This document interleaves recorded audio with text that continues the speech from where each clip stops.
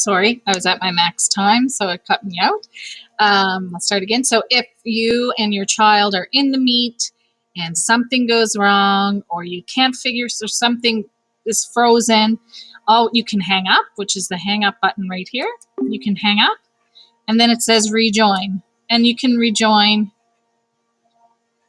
mute, and join yourself uh, back in. So if you are on your Chromebook, you can do the same steps and um, you can skip the, the logging in on the Google page because that will already happen once you're logged in. But I also wanted to note that on your phone, if you have an iPad or a a cell phone, you can add the classroom app. So that's this app right here. Bring it back a bit. And when you click on it, you'll have to use your child's username and password to get in.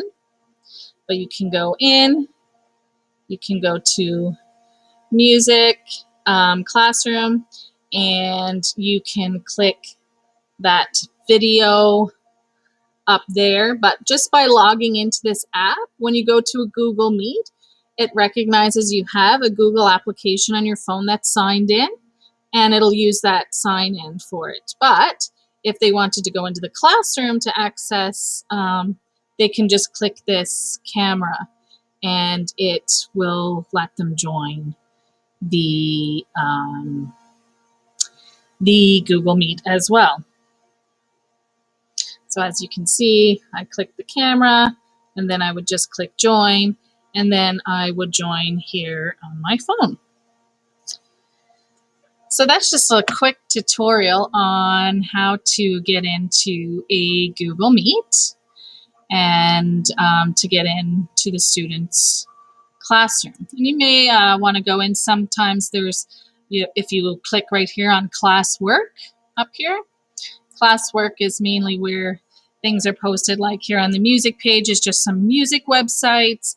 Um, they could have some reading sites in their classroom or, or math sites, but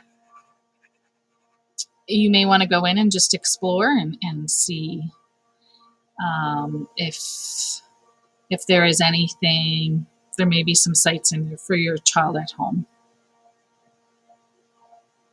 And other than that, I think that that's it. So I hope this helps if you get into, we get into a situation that nobody wants online learning, or um, if even just to get into your child's Google Classroom um, or their Google apps. And I'm sure if you do not have the username and password to kind of play around with these apps, you can contact your child's teacher and they will pass along the password, uh, username, and password for you. Hope that helps.